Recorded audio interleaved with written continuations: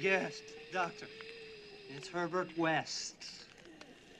What are you thinking? How do you feel?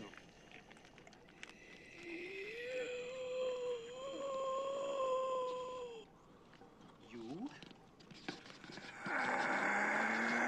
Stop.